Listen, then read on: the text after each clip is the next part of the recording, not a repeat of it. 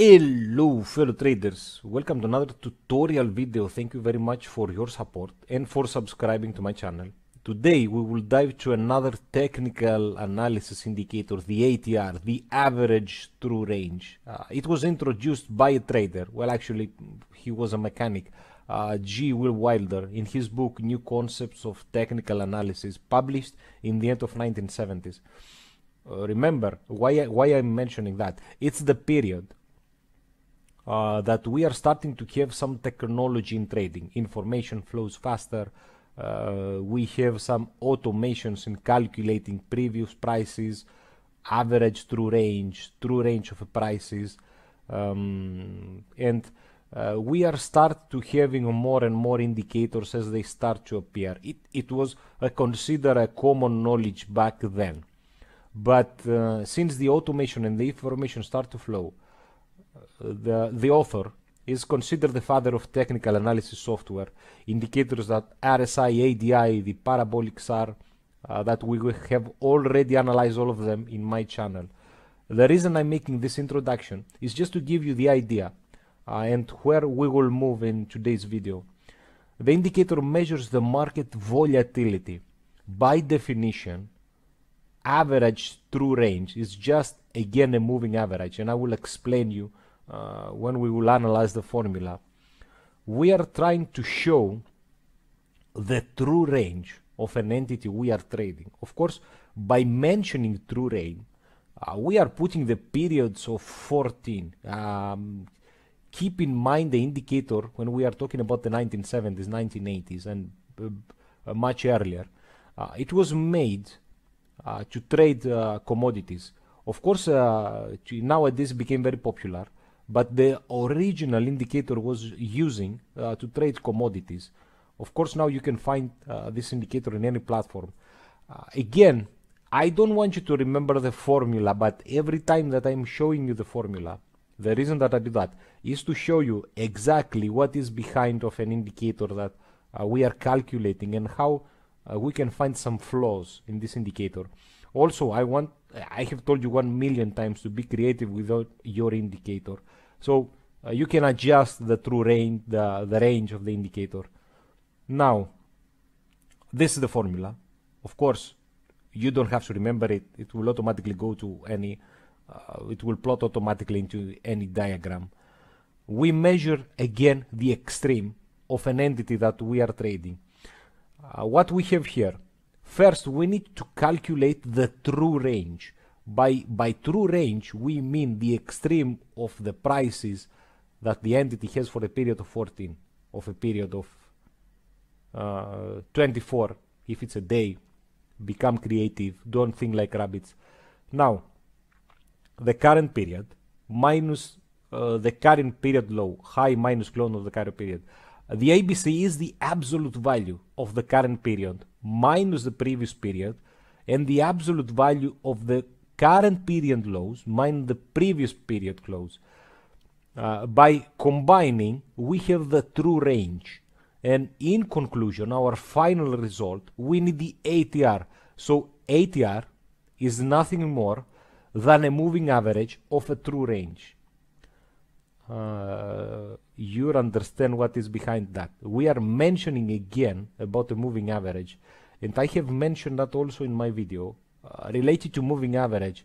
Uh, this is a way for me, it's the holy book of all indicators. It's determine what's a moving average. Uh, again, uh, you have you can try that in the in any price that you want in the typical price in the range of prices this is up to you how you choose to become uh, creative with an indicator but keep in mind that you should always pay attention how other traders think and how uh, more serious, more big traders think when they are plotting this kind of indicators. Uh, they are checking on a period of 14 because I, I, already explained you why 14. If we put it in daily, uh, 14 days behind, it's like uh, searching our uh, extreme prices movement on two weeks behind. Why two weeks and not three weeks? Why not a month? Why not a year? this these questions comes again and again. Uh, the purposes of this video is to understand uh, what is the true range of uh, an entity that we are trading. Uh, of course, we will open some real markets and I will give you some pros and cons about this indicator.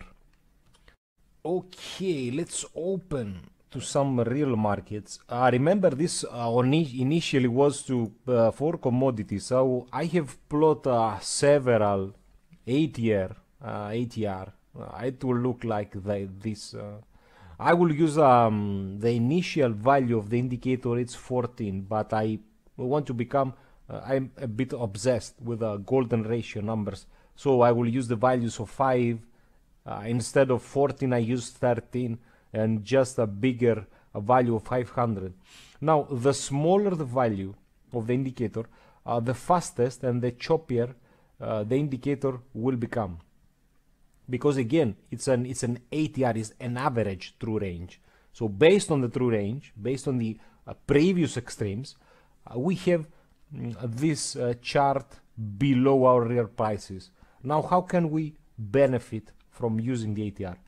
Uh, I have said that in many videos. I am against uh, indicators. Uh, I do not use them so much.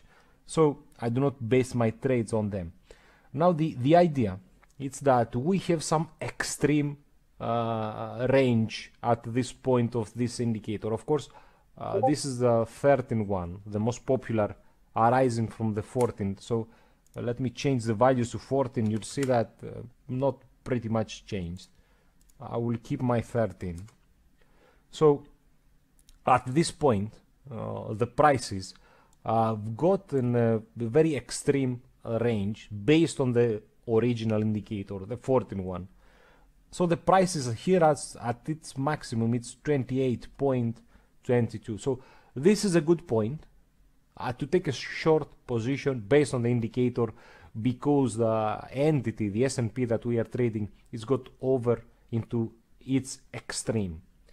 Um, and uh, of course, mm, you need to pay attention to this point.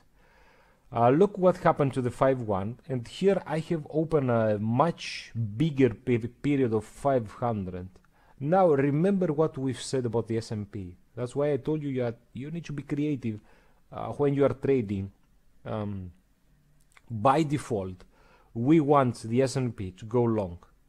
Uh, it's the the measurement of American economy. So there is no reason to go uh, short on this index. The the most powerful companies are there. So if you want to use that, uh, use the extremes of the indicator in your favor and try to search a long position. Uh, this will eliminate 50% uh, of your uh, trading don't have any bias. Uh, we, we, discussed that. I'm just showing you how to use uh, correctly where there is no correct way, but I want to show you how to be creative with your indicators and the values that it's behind that indicator. Now, at this point, uh, maybe it's a good point to take uh, a long position uh, because check where the average uh, true range has sky fi. But what will happen if I scroll a little back in the past? You see how the, the values has changed, the higher has changed. And uh, uh, you can check that uh, the extremes are changing. And look the 500 one. How much smoother uh, our uh, 500 has become. How we can use that on our favor. Uh, the 500 one is smoother and we see that the market is trending very smoothly. So here it comes the clue of the 500 of the biggest range. Now, trust me, if I change the value to 400, I, I told you I don't want you to think like rabbits. If you change the value to 400, you see that it's smooth again. So the idea behind it is that we have a very nice uptrend uh, of course, we have an uptrend. We are talking about the S&P. Now, that don't start uh, that the the index will collapse and like whatever. Uh, we want to make profit. If it collapses, it will get our stop losses. We will lose one percent. 2%, no one cares. We don't care. We just want to make profit. Be smart and trading, uh, I have explained many times, it's not so easy. So take, um, be familiar with the loss. It doesn't matter if you lose. It's okay. Check my videos on losses. It doesn't matter. Uh, you need to have a, a, strategy. Now, let's go back in the indicator and understand the flaws of this indicator. Uh, check how the values are changing as I am moving back. So, um, even at this point, it gets the average true range on its highest. Uh, and you considering taking a short position, uh, you see that the prices doesn't move in your favor at all. And even at this point, thinking to going short again, thinking to going short again, the prices keep shooting up. Um, and here we have that we have the smoother indicator, the 400 one in the values. Uh, we see that we have a, a, continuation of an uptrend. Now I will change time frames. Uh, see what happens here. Now check uh, how we still uh, have that smooth line. We still have our uh, smooth ATR index. So we are keep still trending um, up because we are checking the S&P. Uh, now check uh, check the volatility uh, and how the prices are changing at this point. We have 86 and 102 and this is the problem with indicator. Um, that you cannot take into consideration uh, the average true range. It is just a range. Um, you can adjust uh, the values. You can uh, put some values by your own uh, because I already done here. Uh, if you check I put the values of 90 it doesn't mean anything. I just I wanted to show you uh, as an example so in your trading um, when the average true range comes into an extreme I will show you the um, I will go to the weekly. I will go to the COVID uh, and the lockdown because this is when the market collapsed. And check what it happened to the extremes. Check the prices how they uh, the average the the average true range got spike up and um, someone that was ready to go long. Of course uh, this is very easy to say when we are checking the past. Uh, uh, I was short uh, on this period uh, to this index. Um, I got short and I lost the trade. Uh, in my real my account that I'm using I'm always using the real account. I'm just mentioning the one that I'm using here. And I lost the trade uh, the market didn't move to the downside. This doesn't mean anything. Of course, I didn't. I don't care if I lose a trade.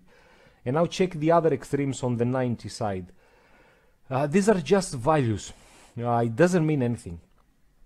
That's why I told you that uh, you need to be creative with your index and uh, play uh, with your values. Play with the 400, with 200, 300. It's just a range of volatility of the market and uh, see now after COVID uh, how the prices shoots up again. Uh, we have significantly our range increase in value and this why, why is that? Because we are searching on the extremes of the 13 periods back. So it's normal when the prices jumps, uh, the indicator will jump also. It follows the prices. It cannot tell you uh, the future. It's another uh, lagging indicator. But I show you how to use it in your favor and how uh, the prices will move on.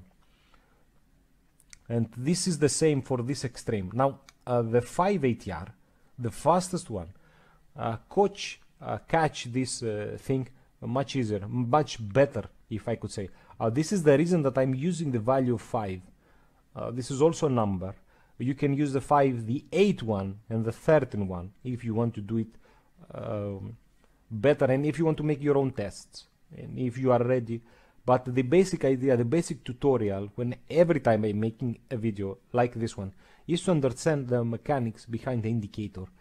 How does this indicator works and how it measures the average true range. There is a range in the price. There are some limitations when we are trading. Uh, for example when you are trading uh, some major currencies, there, there are limits. Uh, there, there are percentages that uh, it, it's very hard to trade only by using that. Uh, but but by knowing the average price, the average percentage of an entity that has moved, it's very good. The ATR uh, will help you uh, to understand the volatility that is coming in the market. Uh, thank you very much. Uh, I hope it was not a big video. Again, uh, thank you very much for your support. I hope I'll see you in the future and uh, trade safe.